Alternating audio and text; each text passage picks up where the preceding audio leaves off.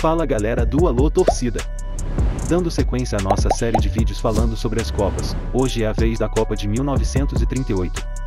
Então se ainda não é inscrito, se inscreva no canal e ative o sininho para receber notificações de vídeos novos.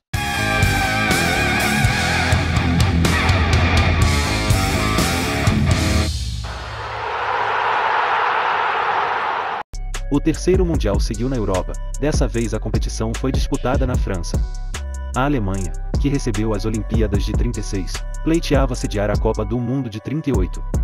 A Argentina também se candidatou, pensava que a FIFA ia seguir o revezamento entre os continentes. Mas o francês Jules Rimet queria a Copa em seu país natal, e com 19 votos, a França foi eleita a sede da Copa do Mundo de 1938. A Argentina teve três votos e a Alemanha apenas um. A Copa do Mundo de 1938 trazia duas grandes novidades. Os gramados passaram a demarcar a meia-lua à frente da grande área, com o objetivo de manter os jogadores a 9 metros e 15 da marca do pênalti. Outra inovação foi a bola, ela teve o nome de Allen, sem o tiento externo ou uma tira de couro que amarrava dentro do corpo da bola, o bico para enchê-la. O bico da bola passou a ser encaixado entre os gomos e a ausência do tiento permitia ao jogador cabecear a bola sem se machucar. O Brasil, depois da Copa de 34 excursionou pela Europa e fez amistosos contra clubes do velho continente. Quando voltou ao país, a seleção ficou ociosa. A Argentina, insatisfeita por não ter sido escolhida como sede, decidiu boicotar o Mundial. Todos os países sul-americanos aderiram ao boicote e o Brasil não precisou disputar as eliminatórias. Sendo assim, de 1935 a 1937, a seleção fez apenas três partidas, Apesar do tempo inativo, o Brasil fez um bom papel na Copa do Mundo de 1938. Foi eliminado na semifinal, justamente para a futura campeã e na disputa da terceira colocação, os brasileiros venceram a Suécia por 4 a 2.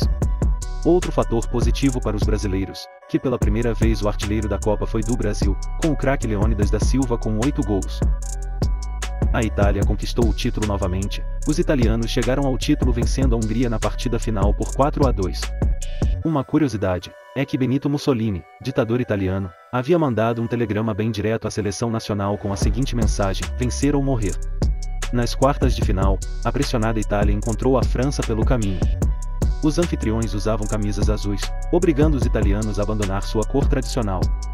Os italianos aproveitaram a oportunidade para fazer uma média com Mussolini e entraram em campo trajados com um uniforme preto, a cor do fascismo. Um fato memorável dessa Copa foi o único WO da história das Copas, isso devido à iminência da Segunda Guerra Mundial, a Europa vivia um clima de tensão política. A Áustria que havia se classificado para a Copa do Mundo foi anexada à Alemanha às vésperas da estreia e por isso, a Suécia se classificou automaticamente às quartas de final. Curtiu o vídeo? Então deixa seu like e compartilha com a galera.